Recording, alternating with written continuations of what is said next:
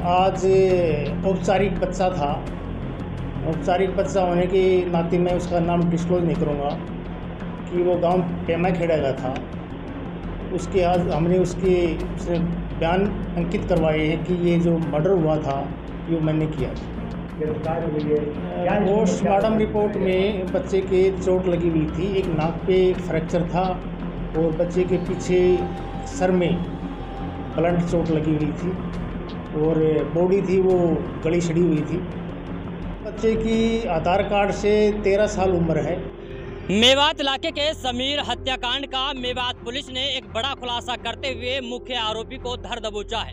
दरअसल, आज पिनंगवा थाने के एसएचओ सतबीर ने मीडिया को जानकारी देते हुए बताया कि तीन सितंबर को जो समीर नाम का बच्चा गायब हुआ था, अब उसका मुख्य आरोपी गिरफ़्तार कर लिया गया है। वहीं उन्होंने बताया कि आरोपी ने बताया है कि वो उस स्कूल में पढ़ना नहीं चाहता था, उस मदरसे में नहीं पढ़ना चाहता था, लेकिन परिवार के लोग, उनके माता पिता ज़बरदस्ती उन्हें मदरसे में पढ़ाना चाहते थे और उन्होंने इसी बात को लेकर के समीर नाम के बच्चे का पहले तो गला दबाया और उसके बाद उसकी हत्या कर दी, क्योंकि वो उस मदरसे से छुटकारा पाना चाहता था। खैर, मेवात पुलिस की ये अपने में बड़ी कामयाबी है कि एक सप्ते के अंदर अंदर तुरंत इस पूरे हत्याकांड का खुलासा कर दिया है। खैर इस पूरे मामले में पूछताछ के लिए पहले मदरसे के चार मौलानाओं को हिरासत में लेकर पूछताछ की गई। वहीं उस मदरसे के बाहर दुकानदारों को भी हिरासत में लेकर पूछताछ की गई। यही नहीं, जो समीर के चाचा हैं, उनको भी हिरासत में लिया गया और पूछताछ की गई। हालाँकि जैसे जैसे दिन बढ़ते गए वैसे वैसे पुलिस प्रशासन की टीम मुख्य आरोपी तक पहुँचने में कामयाब हो पाई। लेकिन अब बड़ी खबर यह है कि समीर हत्याकांड का जो मुख्य आरोपी है उसे पुलिस ने गिरफ़्तार कर कर अब बाल सुधार गृह में भेज दिया है। खैर इस पूरी रिपोर्ट को लेकर के क्या कुछ कहते हैं? पिनंगवा एसएचओ सतबीर आइए आपको सुनवाते हैं। हाँ। अब सर ये शाहजो का सिविल जो मदरसा था उसमें एक नाबालिग बच्चे का मर्डर हुआ था। अब पुलिस ने आपको क्या उसमें कामयाबी क्या है? मामला कहाँ तक पुलिस पहुँची? पाँच तारीख को हमें सूचना मिलने पर हमने ये मुकदमा दर्ज किया तीन सौ दो आई पी और बच्चे का पोस्टमार्टम करवाया पोस्टमार्टम करने के बाद में पोस्टमार्टम रिपोर्ट आई। हमने गहनता से अपनी तीन चार टीमें लगाकर इसकी गहनता से इन्वेस्टिगेशन की, पूछताछ की। मदरसा के अंदर रहने वाले लोगों से पूछताछ की, बच्चों से पूछताछ की, बाहर के लोगों से पूछताछ की। पुलिस ने अब क्या पाया है? क्या जो डेड बॉडी थी क्या उसमें पोस्टमार्टम में कुछ पाया है?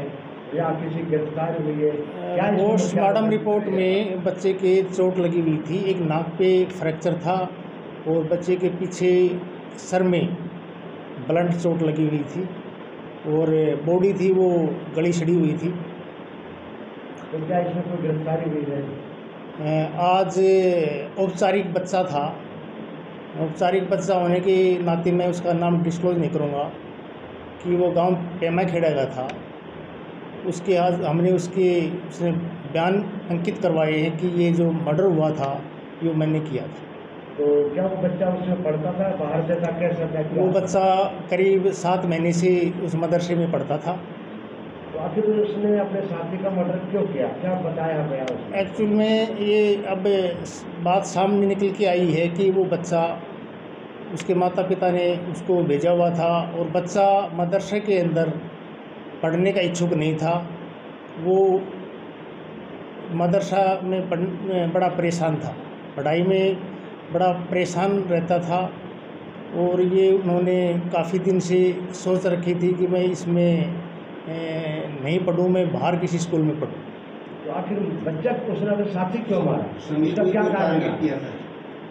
उसका कारण ये है कि कोई बच्चा ये नहीं था कि मुझे इस बच्चे को ही मारना था। एक्चुअली उसमें दिमाग में ये ठाना हुआ था कि उसका सोच ये थी कि भी मैं इस मदरसा से कैसे बाहर निकल सकता हूँ। उसने ये विचार लगाया हुआ था कि भाई मैं किसी बच्चे का मार के और इस मदरसे का नाम बदनाम हो जाएगा। और मदरसा बंद हो जाएगा और मेरे को भी घर जाने की छूट मिल जाएगी। तो क्या इतनी सोच रखता था बच्चा के वो सोचे कि कितनी उम्र रही होगी उस बच्चे की आधार कार्ड से तेरह साल उम्र है और तो सर जो आप कोई कई चोट बता रहे हैं और जबकि वो एक उसमें पाया गया है कि मदरसे की जो मस्जिद है मस्जिद के कमरे में पाया है वहाँ तक कैसे लेके गया कैसे मारा? एक्चुअल में वो बच्चा आ, बोल रहा था कि जो मरने वाला बच्चा था वो इसके बड़ी क्लोज था। वो उसकी बात को मानता था और शनिवार के दिन था कि जहाँ बच्चे को डाला हुआ था मारा था वहाँ पर जिस शनिवार को कोई लोग नहीं रहते हैं। तो उसने किसी बहाने खेल के बहाने से उस बच्चे को वहाँ पर ले गया और वहाँ ले जाकर उसने ये उसकी हत्या कर दी। किस चीज़ से उसने उसका मुँह दबा के नाक दबा के और सर दीवार को मार के उसकी हत्या कर दी। इस पूरी वारदात में सिर्फ़ एक ही बच्चा है या फिर और सिर्फ़ एक ही बच्चा है। उसने अपना बयान में करवाया कि मेरे सिवाय और कोई नहीं है। मैं अकेला हूँ। तो क्या आप उसको सुधार के लिए भेज दिया है क्या? हाँ मैंने आज उसको जुनाइल जस्टिस बोर्ड के मेंबर को पेश किया और आज ही मैंने उसको सुधार ग्रह फरीदाबाद के लिए भेज देगा सर नाबालिग एक बच्चा जो सभी है वो भी नाबालिग है ये भी नाबालिग है। जी। के लिए काफ़ी पूछताछ होती है। एक बार में कोई बच्चा किसी बात के बारे में सच उगल नहीं सकता है। तो कई बार उस बच्चे से हमने पूछताछ की है, और लोगों से भी पूछताछ की है, और बच्चों से भी पूछताछ की है। तो अब हमारे सामने ये आया कि भाई, इस बच्चे ने ही उसकी हत्या की। Thank you